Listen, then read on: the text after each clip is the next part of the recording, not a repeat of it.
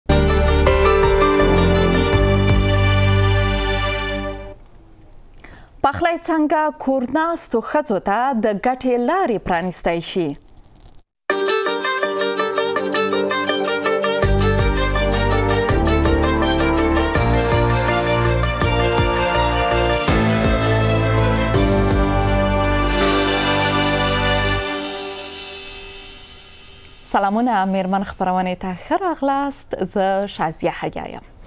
پخلی یو داسې مهارت چې هر چا ته پکار دی خو تر ډیره میرمنې پکې برلاسې ښکاري او د دوی د ورځني ژوند لویه برخه ګڼل کیږي نن په دې غږیږو چې پخلی څنګه میرمنو ته د عاید په یوه وسیله بدلیدای شي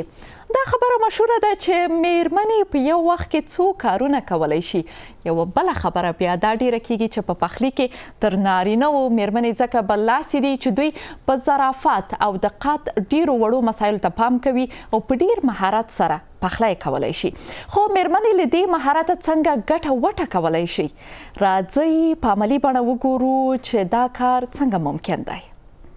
سلام ګبیتا سلام زما نوم ګبیتا دی افغانستان کې مې اقتصاد پوهنځی لوستی درې کال کېږي چې بریتانیا ته راغلی یم د دوو ماشومانو مور یم دلته هم زده کړې کوم او ترڅنګ مې دا شپږ میاشتې کیږي چې د کیک، کلچو او روټ پخولو او خرڅولو وړوکی کاروبار هم پیل کړی دی. ما د خپل کاروبار او مشتریانو پیدا کولو لپاره په خواله رسنیو کې پاڼې جوړې کړې دي. هر څه چې پخوم هلته عکسونه او لنډې ویډیوګانې خپروم. بیا مشتریان ماته د پیغام له لارې فرمایش یا آرډر را لیږي. زه یې ورته پخوم او ورته لیږم یې. زه کیک، کلچې او روټ هر څه کور کې پخوم. دا مهارت مې په خواله رسنیو کې د ډېرو ویدیوګانو په لیدلو، مطالعې او تمرین سره زده کړی دی.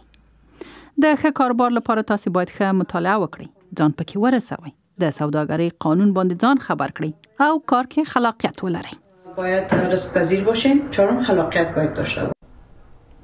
دغه میرمنې دلته په لندن کې د پخلی له لارې ځان بسیا کړی. زه خپلې میلمنې ټولنیزې فعالې ارزو ساپۍ سره په دې خبرې کوم چې افغانستان او خیبر پښتونخوا کې څنګه ښځې دا ډول کارونه کولی سي یا نه. ارزو جانې خپرونې ته ښه راغلې عروسو جانې ښایي شاید ځینې دا ووایي چې دا خو په لندن کې دا ورته امکانات سته نو دلته یې داسې کاروبار پیل کړی یعنې پخلی کوي په کور کې کیک او کلچې پخوي آیا دا کار افغانستان کې خیبر پښتونخوا کې میرمنو ته ممکن دی بلکل ځکه چې نن سبا سوشل میډیا ده انټرنیټ ده یوټیوب ده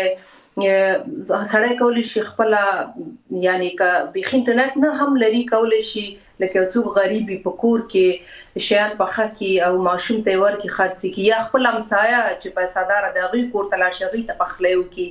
نو پخلی نه ډیر ګټي سړی اخستل شي په هر رقم باندې ضرور نه دی چې سړی پیسې دار اوسي یا انټرنیټ لري په کور کې نو ستا نظر څه ده که چیرې کورنسته یوه ښځه د پخلي له لارې مثلا ځان ته پیسې پیدا کړي په ځان بسیا سي نو دا څومره ورسره مرسته کولی سي دا به څومره لوی کار د دوی په ژوند کې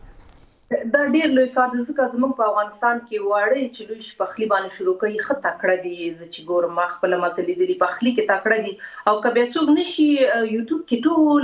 خی درته چې سره قم ته پخلی وکي مثلا دو پیازه په یوټیوب کې ولیکه هلته درته ټول راځي چې څه رقم ته پخیږي نو هغه ښځې تکړه دي هغوی کولی شي ددې نه ډیرې او ښه استفاده واخلي په کور کې پخه کړي لکه ما چې مخکې وویل یا څوک چې سواد لري انګلیسي ورته یادوي پښتو دري ورته یادي کولی شي د فیسبوک د طریقې نه نور ډیر طریقې دي په انټرنیټ صفحو کې خپل ځان ته یو سایټ جوړ کړي چې هغلته نمبر هم ورکړي چې مثلاً څوک محفل لري، غټ محفل لري، غټ مېماني لري، دې سره تماس ونيسي او دا ورشي په کور کې ورسره پخلی وکړي. د پخلي نه هغوی دغسې ډېر ښه استفاده اخستلی شي که وغواړي. زه دا وايم ښه زه وړه سويډن کې لويه شوې وم مګر زه مزه داره دوپيازه پخوم دې په خاطر چې يوټيوب کې ګورم څنګه چې هغلته پخېږي هغسې زه پخوم او باور وکړه ډېر مزه داره راځي. او بیا په افغانستان کې خو هر رقم ترکاري وغواړې تازه غوښه ټول داشونه لري نن سبا دا غریب خلګ هم داش لري په کور کې هغلته یعنی هر څه شته چې دلته موږ نه لرو نو هغلته هغوی ته ډیر زیات اسانه دی چې دا کور کې دغه بزنس شروع کړي یا رستورانونو سره خبرې کړي هلته ورته هوټل وایي په رستوران سره قرارداد وکړي یا لکه ما چې وویل محفلونه کیږي هلته خو د عرف طعمات زیات دي محفلونه زیات کیږي وخت چی یو دفعه چی خلک پوه شی چی ستا کار ښه دی پخلی دی ښه دی ضرور نه ده ته ورته درس ووایه په انټرنیټ د لارې نه هر څه ته خپله کور کی کولای شی یاد کی. اویا آرزو جانې مثلا دغه میرمنې خو په خپلو منځو کې ډیر پیږي چې څوک مثلا په پخلي کې ښه مهارت لري څه فکر کوي که چیرې مثلا یوه میرمن له بلې میرمنې نه مرسته وغواړي چې ولا دغه پلانکی شی ته ښه پخې ته دا ماته را زده که چې سبا ورځ بیا زه ورنه کاروبار پیل کم دا به ښه لاره نه آفرین ته خو یو خو فامیل نامه خو دا غټ یو بل همسایه یی یو بل سره همکاری وکړئ په دې وخت کې په دې سخت شرایط کې یو بل سره همکاری وکړئ همسایه دې کیدای شي کابلی پلو ښه پخوي ته کیدای شي دوپیازه ښه پخوي بل څوک منتو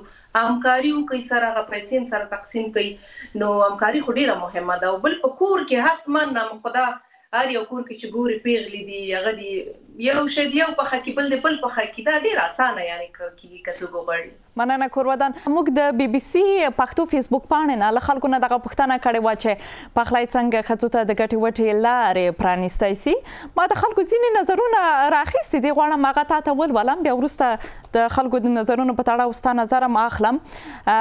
مروه تنها لیکلی دی ښځې کولی شي د یوټیوب له لارې د بېلابېلو خوړو پخول زده کړي او بیا یې بازار کې خرڅ کړي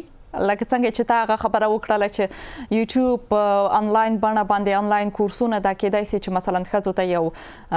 ښه لارې چې یو څه ورنه زده یې کړي عادل خان بیا لیکلي دي میرمنې کولی شي هوسانه خواړه پاخه او خرڅ کړي دا زموږ هوسانه خوړو کې خو مثلا پیرکي یا خلک ورته بولاني وایي یا چپس یا برګر یا تا عشق منتو که دغه کورونو کې پاخه سي او باندې خرڅ سي یا مثلا یو وړه کراچۍ ودرول سي هلته خرڅ سي فکر نه کوي چې دا به هم ډېر یو ښه نظریه لکه څنګه چې عادل خان ورته اشاره کړې ده بل نظر دا ده چې علي ساجد یار بیا لیکلي دي افغانستان کې نارینه او ته کارونه نشته نو ښځې به څه وکړي فکر نه کوي مخکې هم تا اشاره وکړله چې داسې بد حالت ده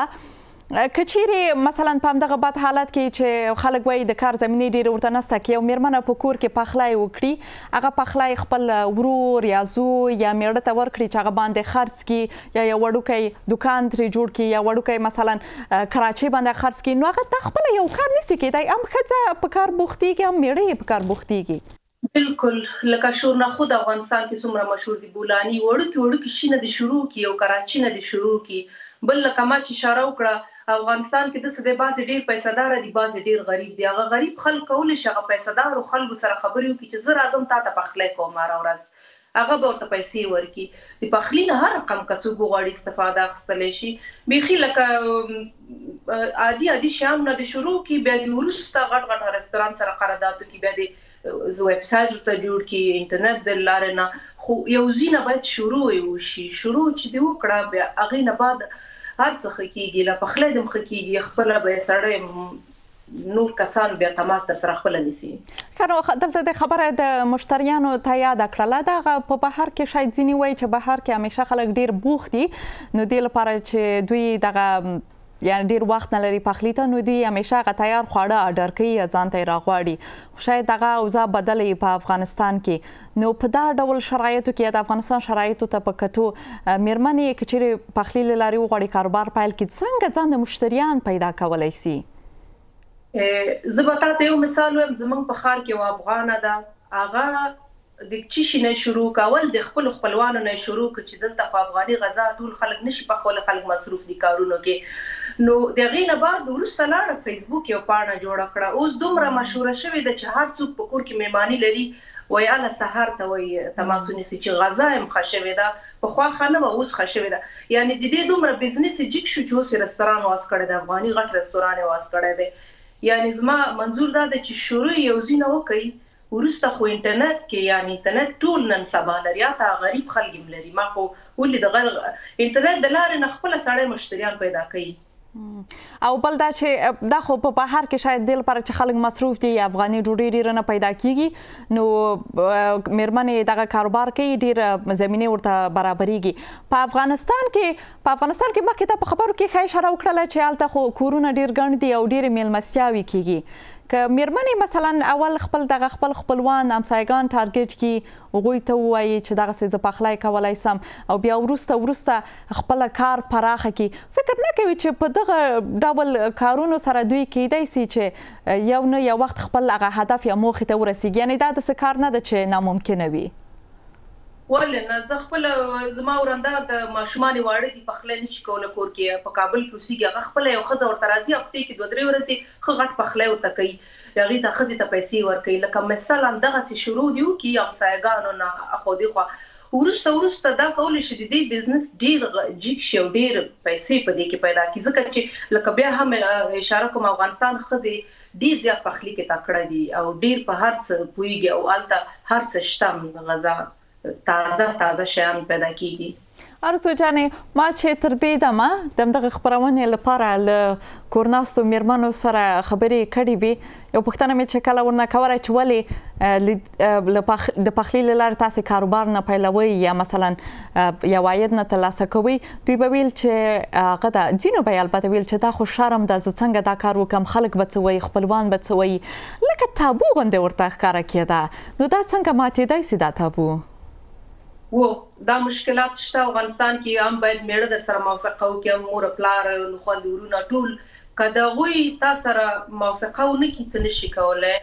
دا کار وکړي دا دا خبره صحیح ده دا زموږ یو رسم او رواج دی مګر دې ته باید سړی فکر وکړي دا د شرم کار نه دی دا یو بزنس دی دا یو تجارت دی ولې په دې کې شرم نیسي تجارت هم چې ته شروع کړې د یو سر نه یې شروع کړې لکه بیرون چې ته خیرات ټولې د هغې نه خو ښه دی چې ته یو خپل کار بار وکړې او حلاله ډوډۍ ځان ته پیدا کړې دغه دغه فکر فکر باید د خلک د مغزو نه نه وباسي دا ډېر یو غلط فکر دی. او که چېرې یو مېرمنه مثلا دا ډول کاروبار وکړي خو د کورنۍ ټول غړي په هغه کار ورسره بوختېږي نو هغه یعنې ټول د عاید څښتنان کېږي که څنګه که نه؟ هو کنه خو یو کیدای شي انګلیسي یاد یو ویب سایټ جوړ کړي بل کیدای شي لکه ما چې مخکې ویل وریجې ښه پخوي بل غوښه خو ټول شریک کیږي پکې همسایه ګان ټول خو دې کې چې یعنی ټول کومک وکړي د دې نه ډیر یو غټ بزنس جوړیږي او ډیر یو ښه کاروبار جوړیږي ځکه افغانستان نه خدا نفوس زیات دی یو غرمې ډوډۍ کې چې څه یو شیان جوړ کې بیرون یو کراچۍ کې وباسي په یو ورځ کې درته خلاصيږي ځکه نفوس زیات دی نه مثلا که نارینه وایی چی رستورانت کی شرم دی ته کار مکوه صحیح ده هغه افغانستان کی رسم ورواج دی سړی باید هغه قبول کړي مګر چی ته په اشپزخانه کی ودریږی پخلی کوی هغه څوک ګوری هغه هیڅوک نه ګوری بیا ته نارینه ته ته ورکوی نارینه یی بیرون خرڅوی یعنی ددی حل لاره شته ضرور نه دی چی یا یی ماشومانو ته ورکړی ضرور نه دی چی ته بیرون ته وځی یا رستورانت ته لاړه شی یا خلکو ته ډوډی هغه کی نه ته یی په اشپزخانه کی پخوه ورکه یا اولادونو ته دي یا همسایه ته یا میړه ته یا ورور ته هر څوک چي دي هغوی یی دا بزنس د بیرون مخکي ته بوزي درته. او له ډیر ساده شیانو نه هم پیلوی سی که څنګه؟ هو ډیر ساده شیانو نه او بل انټرنیټ صفحه کي ضرور نه دی ستا نوم یی ستا ادرس یی ستا نمبر یی کولای شي د ورور دی د میړه دی خو دا خو ډیر یو ساده کار دی ستا اشپزخانه کي د ځای دی که خپل کار دی پیسي هم درته راځي دا ډیر یو اسانه کار دی. مننه رزو جانې چې په دې باس کې را سره وي په ټول باس کې په دې مو خبرې وکړلې چې میرمنو ته ډیر لاري چارې ستا چې دوی وکولې سي د پخلی لاري ځان ته کاروبار پیدا کی اول د وړو کې اقدام نه دی پیل کی بیا ورسته کولې سي خپل دا کاروبار پراخ کې نو کور ودان چې خپل نظرونه د لمک سره شریک کړل تا ته خو وخت غواړم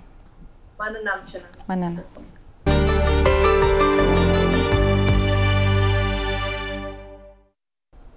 بله اونۍ میرمن خبرونه کې په دې غږیږو چې په کورونو کې د ناسمې ژبې کارول یا د ښکنځلو اغیز څه کېدای شي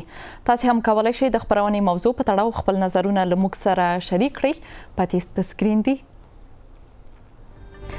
میرمن خبرونه د بي بي سي پښتو فیسبوک او یوټیوب کې بیا بیا لیدای شئ نو حتما سر ورکاره کړئ تر بلې هغې ښه وخت د الله پامان